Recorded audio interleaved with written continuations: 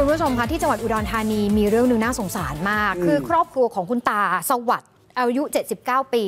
ขึ้นมาโรงพักมานะคะ จะมีภรรยา แล้วก็มีน้องชาย แล้วก็มีญาติอีกคนหนึ่งที่เป็นคนพาครอบครัวนี้ เดินทางมาที่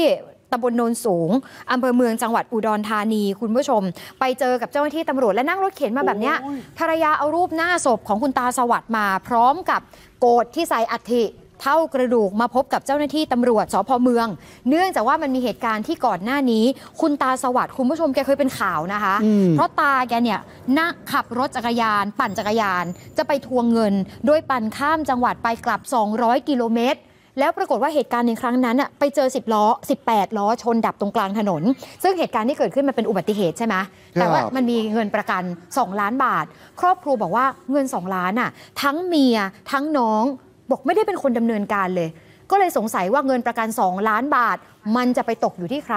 สืบสาวเราวเรื่องถึงได้รู้ว่าอ๋อลูกเลี้ยงของคุณตาคุณผู้ชม เป็นคนส่งเอกสารจะเป็นคนขอรับเงินประกัน ทั้งที่จริงๆแล้วอะไรรู้ไหมคะขอเปิดภาพขวามือ เป็นเงินที่เจ้าหน้าที่อะไปเจอตรงจุดพบศพ วันที่ตาปั่นจักรยานข้ามจังหวัด เพื่อจะไปกลับเนี่ยไอ้200 กิโลเมตรที่บอกว่าทวงหนี้ คือไปทวงหนี้ลูกเลี้ยงนะคะโอ้ลูกเลี้ยงคนเนี้ย ทั้งหมดอะห้าหมื่นกว่าบาท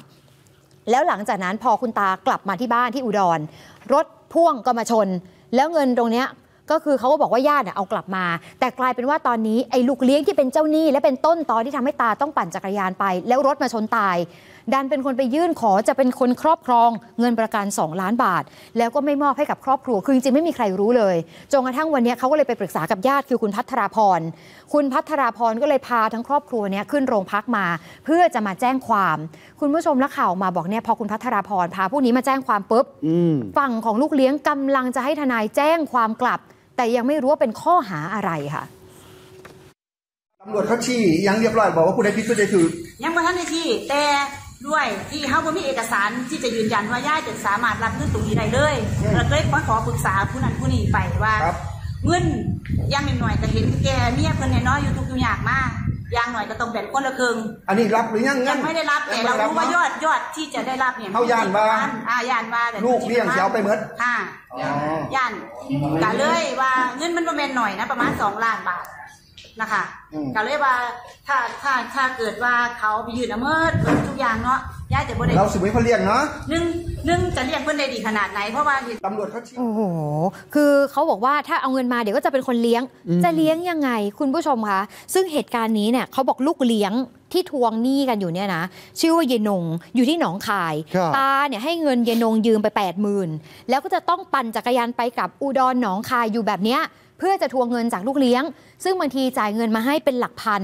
รอบนี้ได้มา 50,000พอขากลับปุ๊บรถชนค่ะ เงิน 5 0,000 ยังไม่ได้ใช้ แล้วมารู้ข้อมูลว่ายายนงคนเนี้ยเป็นคนเอาเอกสารไปยื่น เพื่อรับเงินประกัน เป็นพรบค่าสินใหม่ทดแทนจากอุบัติเหตุ แล้วภรรยาเห็นบอกไม่ได้จดทะเบียนสมรสด้วยอืมก็เลยไม่รู้ว่าจะมีสิทธิ์ในการรับเงินตรงนี้หรือเปล่า ที่สำคัญเขาบอกงานศพตาที่จัดไปก่อนหน้านี้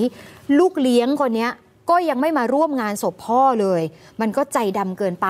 เดี๋ยวรอดูแล้วกันเพราะเห็นบอกฝั่งของลูกเลี้ยงก็จะแจ้งความเหมือนกัน